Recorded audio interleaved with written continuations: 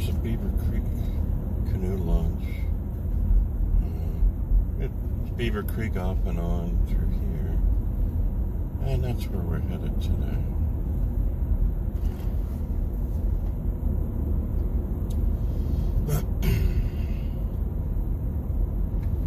oh my, the leaves are falling.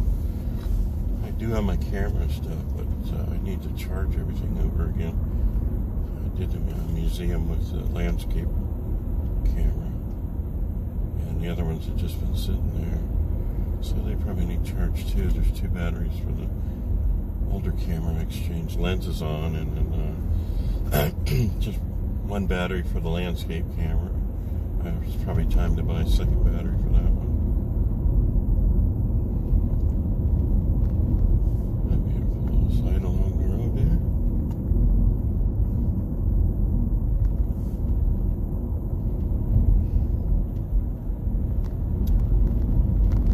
Bright and sunny today. The uh, dash says 57 degrees. Google Maps says 56. So it got down pretty much below freezing last night with the wind chill below or in the high 20s.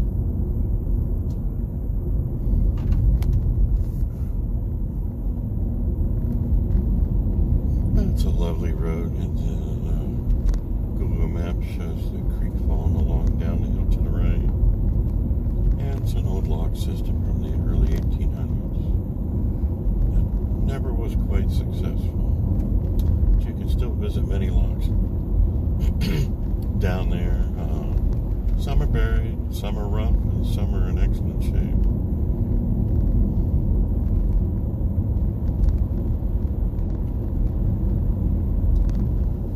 And there'll be a road on the right and the left called Lusk Lock Road, which is number 27, I believe. Here's a parking area for 26, which I think is pretty varied. It's one I've never visited. So back in the 2000s, near the end, I was trying to see as many locks as I could, and just using a regular digital camera. Or uh, I did do uh, some high def movies, which you can see on samples of on uh, my second channel from way back when, which was No Rest Studios, all one word.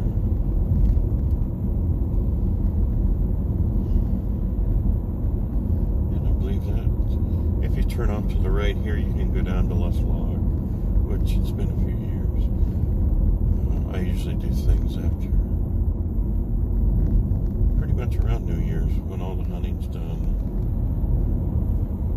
And you can see everything that you normally miss this time of year.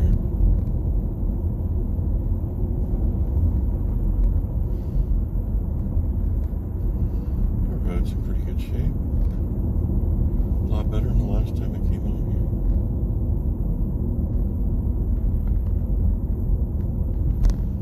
So it's a rolling countryside that, uh, as we head down toward uh, Pennsylvania, West Virginia. The county here borders both of those states. Waters run down to the Ohio River just across the border into Pennsylvania and all the way down to the Gulf of Mexico.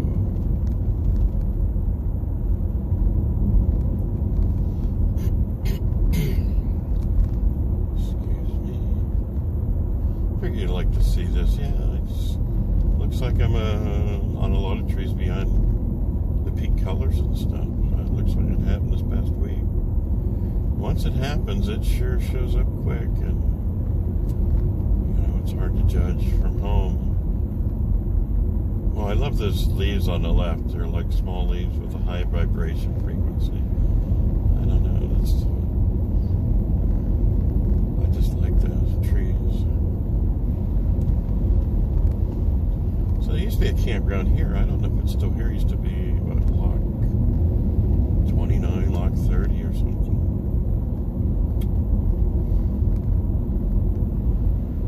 And it might be private property now.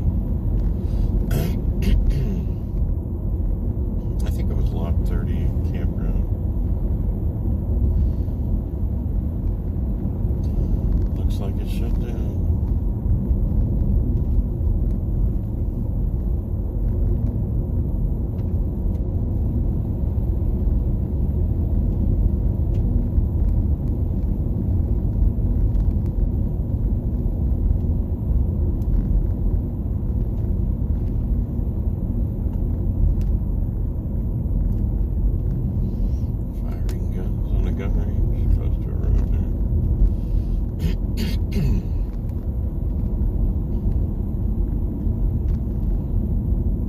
should be Ohio Route 7, which runs along the Ohio River further south, along the Pennsylvania border toward the north. If just a few miles from the Pennsylvania border. Never taken it all the way to the north. But I was on it the southern end of Ohio in Pomeroy, Ohio, and Gallipolis, Ohio, uh, just over two weeks ago. Just documenting our uh, electric car trip down to uh, North Carolina. Well, I'm going to catch you off for a minute, and in a couple minutes I'll turn you back on. Keep cutting off for some reason. On Facebook, I have scenes of Beaver Creek State Park, scenes of Guilford Lake, Ohio, Salem, Ohio, and a few, uh, Guilford, like I said. And there's a Greenway trail and stuff. So there's the old bridge and everything. Uh, there's a picture of my parents parked off in the grass. It's really actually photogenic today.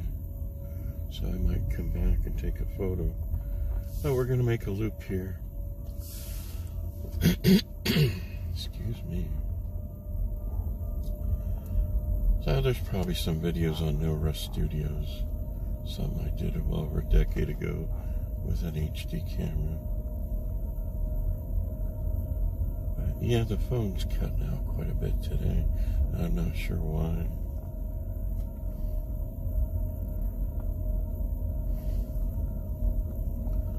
So this also loops around. You can stop at different spots along here. Some people fly fish and fish along the river. It's pretty shallow. Uh, there is kayaking, and uh, you got to be careful. There's shallow and deep spots. Like a couple having a picnic. Some people at a picnic. You see people do photos down here for engagements and weddings and graduations.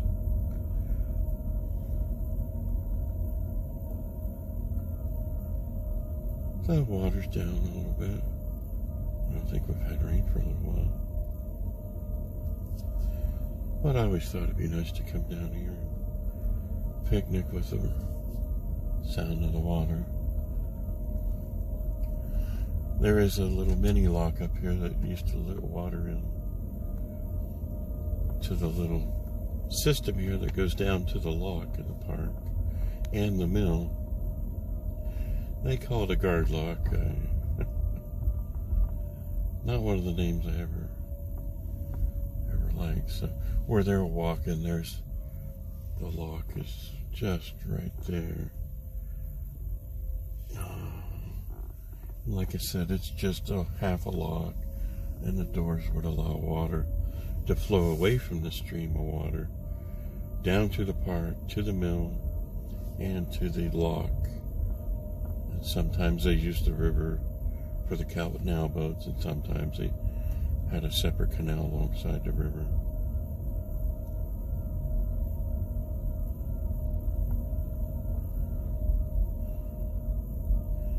They got good ears, or this car.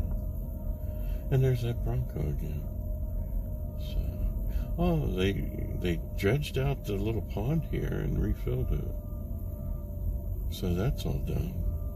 Wow, that's a good color too for the Bronco. So yeah, my photo was uh, there's a red building and some leaves in the back.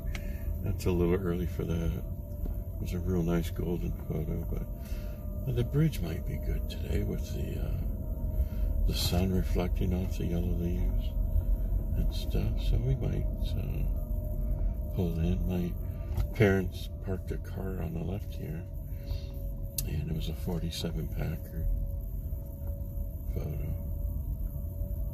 This one, I don't know what year it was taken.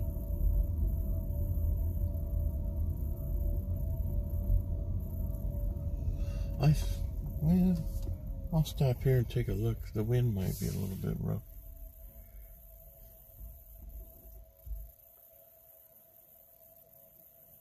Glad you're still with us.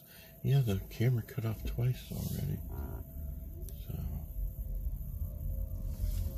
let's see if we can take out the camera equipment. See if. I know I gotta charge the battery, but there should be enough for a couple photos. I'll get you a moment there on the water. And pay it down just a little bit. Uh, and you can see. Uh, the little light indicators on the dash. So you can look from the outside and see the state of charge when you're charging your battery. So uh, we should be able to head up that uh, across the bridge and up a steep hill. Well, it's very beautiful today. We'll uh, open the lens up a little bit. We're going to get a, some leaf movement, it looks like, with the wind. But if we wait too long, we'll miss our opportunity. So, talking quiet today. Um, and uh, the towpath is across the creek there. And one day I fell into the water on the ice and uh, pulled my camera bag in, ready just to take a nap, and I realized my Buick was across the creek. And uh, of course, my criteria is hiking uh, usually between 10 and 15 degrees Fahrenheit, so everything's very well frozen. All right, I'll catch you up and see you in a bit. Get you aim just right. All right. That's a pretty big valley. Carved out a little bit of window. I think I'll do it with the rear window this time. They got horse riding and stuff. Uh, some of the trails that aren't supposed to be for horse riding, they tear it up. Uh, I'm using the horses on there and stuff. They need to stick to the horse trails.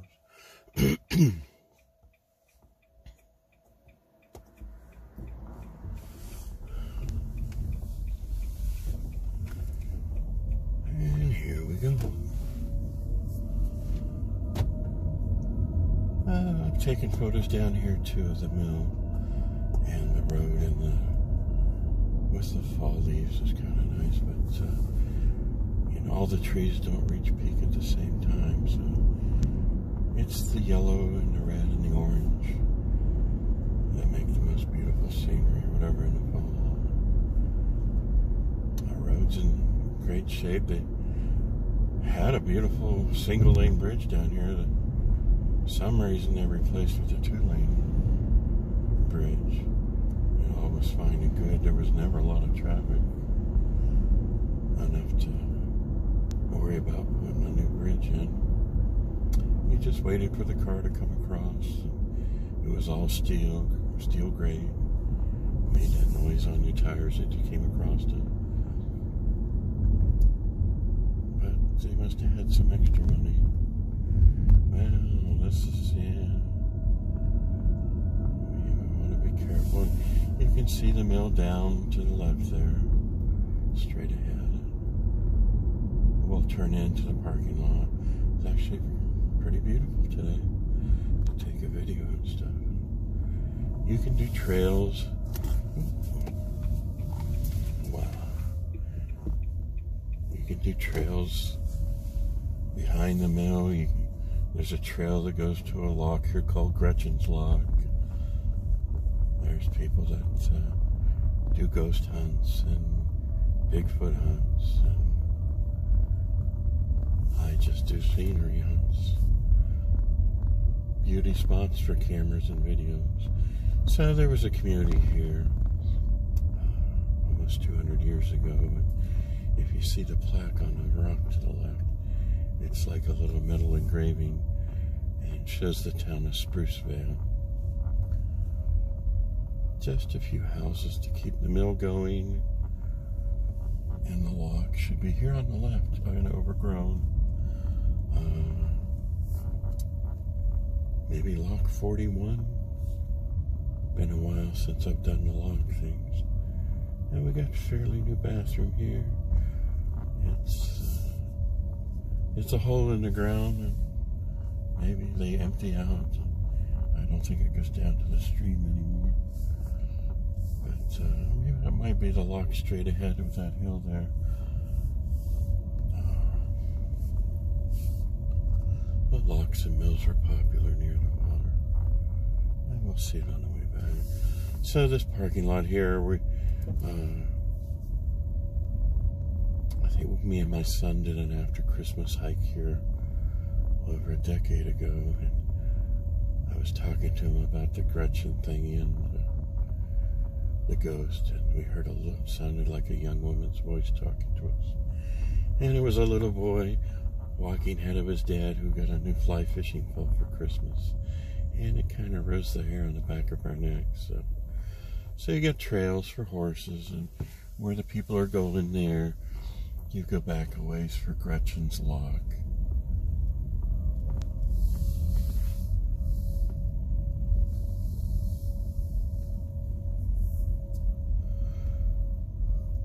So pretty nice. And as time reclaims things, you don't see the scenery you used to see on the trails and the roads. So you get to take you across the new bridge and up the hill. There's a lookout above that looks down upon this or whatever. But uh, back in the old days, everything was cleared out. And uh, the environmentally thing, they don't do that quite anymore. They kind of keep things quiet. Oh, there's a hill on my side. That's why I like the weekdays better than the weekends. But we were planning on going to Pennsylvania to pick up an antique boat motor, and that didn't work out, so. Um.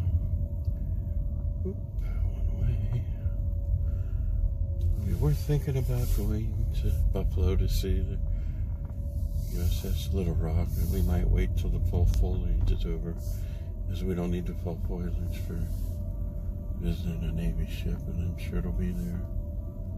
Now I think we'll spend the next week or two making up for lost time and all the the fall I've missed over the last couple decades. So that may, makes a good shot even in this kind of light. There were some gnarly trees before they redid the bridge next to the uh,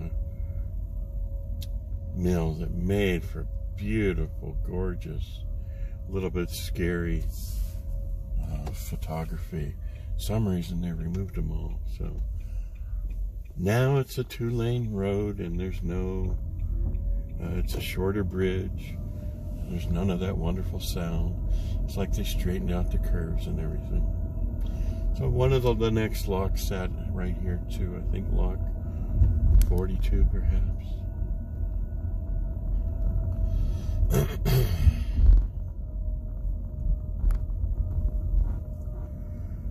we're not sure where they're going.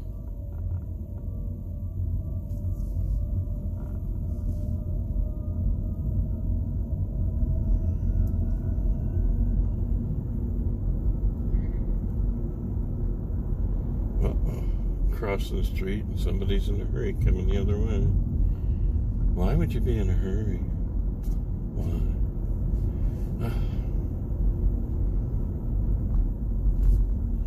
Rush here, rush there, and when there's something to look at, you want to see it on your phone instead of being out there in the nature. There's an overlook here. There's the Corvette with the blower that went by us when we were talking about my parents' Packard.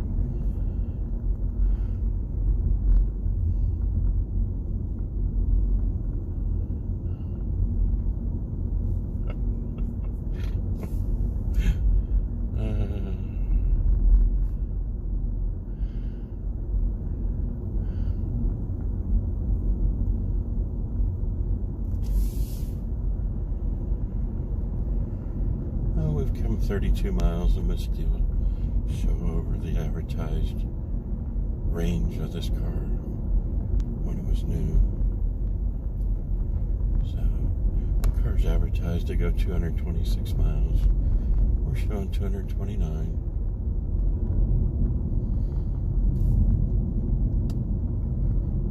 So basically, uh, the way we're driving today, it's probably 260 miles of range, and then they hide quite a few miles. That uh, I can put an OBD2 in and read off a program on the phone that shows me the actual percentage of the battery and the, the actual miles, which is more than what they show. Just a way to keep people from running out of energy because there's you don't have the gas stations. Well, they redid this bridge. It might have been a one-lane bridge or something here years ago too. So I guess they're asking for more traffic to come through now. We'll head up on the freeway and come into Calcutta and head headway. You know, we don't want to go back the way we came. Uh, the camera is overheating, so when I'm done, we pull into Calcutta. I'll stick it down below so it cools off a little bit. Maybe we'll do Lisbon, Ohio, coming in the other way, and maybe we'll drive around Salem when we get back, as long as the camera doesn't overheat. And we'll post them to Facebook.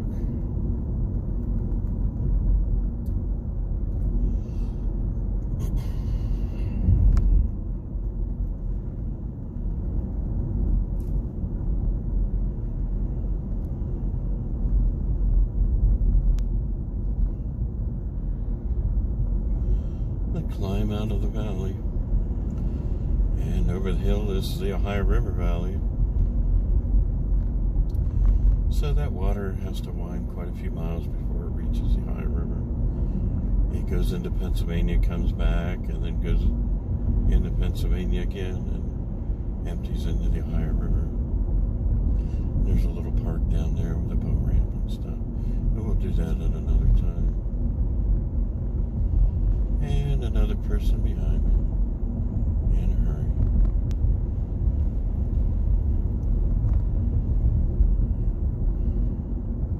Beautiful red bushes there. They got a whole road to pass.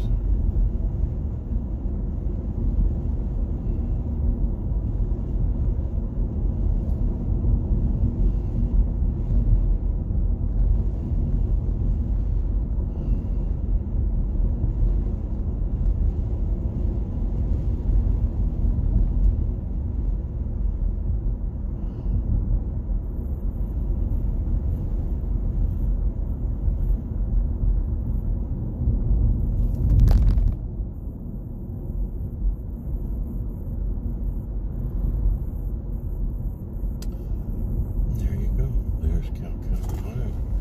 I'll see you in a bit. We'll end our Beaver Creek State Park video here. Calcutta.